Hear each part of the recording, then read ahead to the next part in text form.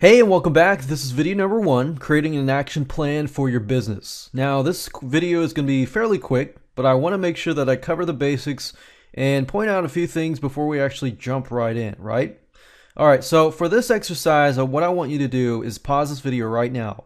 Pull out a piece of paper and a pen, and I'm going to go through some questions that I want you to begin to jot down the answers to so that you have it in hand when you we actually go into the modules themselves. It'll actually make your life a lot easier to implement. So the question is, where are you right now? I want you to think about where you are right now in terms of branding yourself, traffic, and content. So what are you doing right now that is working? What are you doing right now that is not working? If you have an idea of what's working, what's not working, you'll actually get a more clear idea as we actually go through the video course itself. You'll actually find epiphanies. You'll be like aha, aha moments as we go through the video course because it'll apply to you and what you're doing rather than in general. So if you can jot down, just pause for a moment and jot down where are you now in terms of what you're doing? branding wise do you have a logo? You don't have a logo or do you have a mascot? You don't have a mascot. Are the colors that you're using in specifically in the, the logo itself related to the demographics that you're trying to reach?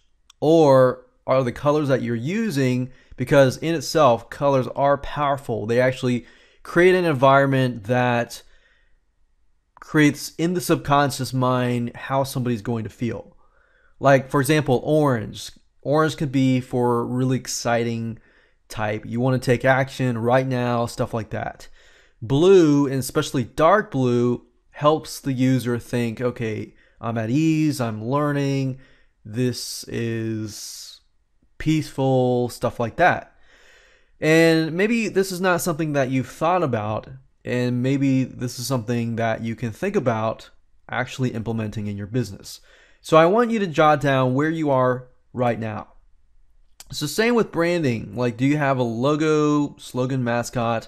What are you trying to convey? Who is your audience? Do you know your demographics? Because if you don't, you're pretty much hitting and missing in terms of branding, in terms of conversions and things like that. Because if you don't know the frame of mind that somebody is in when they're looking at your website, like what kind of problems that they're facing, what kind of solutions they're looking for, and things like that. Because if you know it, it's going to make your life a lot easier. Your conversion is going to be a lot better, and things like that. And when they leave your site, branding is key, so it's going to stick in their minds, right?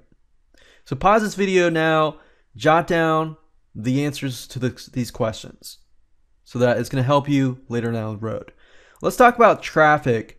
Traffic, like what type of traffic are you getting now? Besides Facebook, what is working for you? What is not working for you?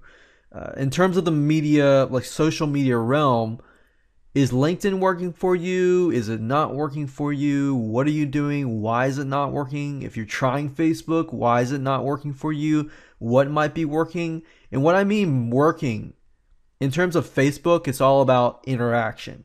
So, are you getting interaction? Are you getting likes? Are you getting comments, or, uh, replies, and things like that?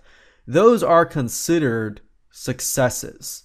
They may not be necessarily conversion successes, but they are successes because you're engaging your visitors. Because when somebody engages with you, they are interested.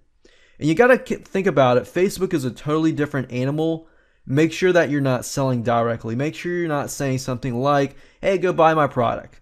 Rather, you want to sell indirectly. And I know that might be something totally different and totally opposite than you're used to, but guess what? You have to follow the Facebook in terms of selling stuff in an entertaining way. And that brings us to the last point, which is content. What kind of content are you currently providing? Are you providing a mixture of content, a written content, video, pictures, or just one type of content?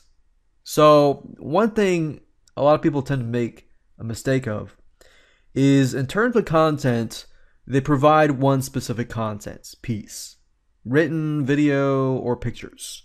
Not all three. You want to have all three simply because you have three different types of learning types you have visual, you have auditory, and you have kinesthetic. Kinesthetic type people will want to follow along as they do it. Visual people will tentatively watch the video first and they'll actually do it. So if you're a visual person, most likely you're going to watch this whole video and do it afterwards. In the auditory, they prefer to read text and listen to audio and things like that. So, with that said, let's move on to the next module, which we actually talk about branding and how you can go about using colors, creating good logos, perhaps revamping your logo and mascots using those to increase your brand and much more.